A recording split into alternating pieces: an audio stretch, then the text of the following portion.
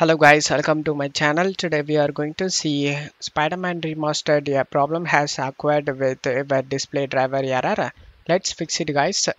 Method one, you just need to go to search menu and type device manager. Click on open it. Expand the display adapter section and in here you can able to see my graphics card name. And open up the browser and in here. You can able to see the graphics card name brand just search for it. Nvidia graphics driver. Do the same thing for your graphics card brand name with it and select the first site.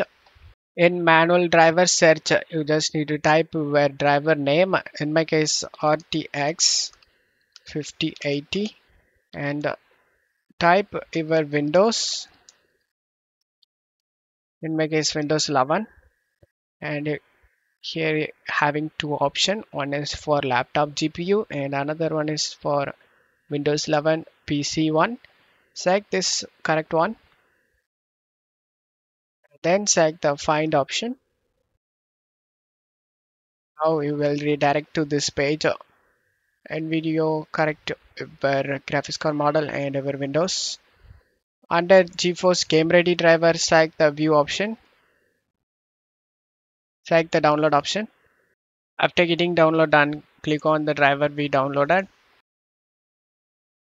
Select the OK option.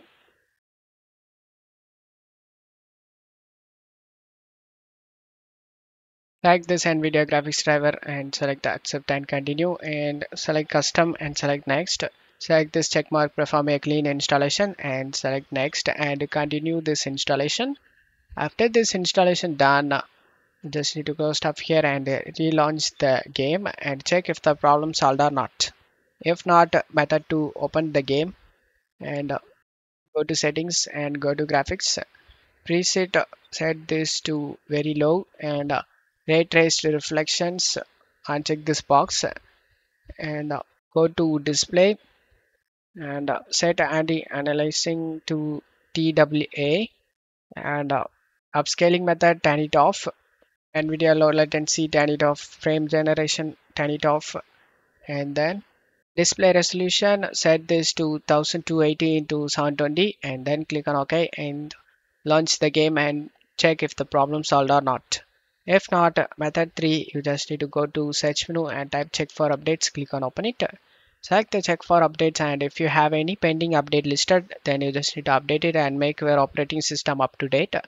And then open up Chrome and search Visual C++ all in one. And press enter select the first site. Select the download option. Select any one of these servers. And it will start downloading. After the download done select this folder icon. Right click on the downloaded file and select WinRAR and select extract to after getting extract done double click on the extracted folder and you just need to run this batch file guys. Just right click on it and select run as administrator and select yes. And it will ask you to install every visual c++ all you have to do is select yes to install it one by one. After running this install all batch file select the yes option and it will be installed in your row. After the installation done you can check if the problem solved or not if not, method 4 you just need to disable overclocking. To disable it, open up your GPU software like MSI Afterburner. Then you just need to go to the in software settings and set overclocking to off. And if you have set any settings, then reset all settings to default. And then just to close stuff here and launch the game and your problem should be fixed guys. Don't forget to leave a like guys. Thank you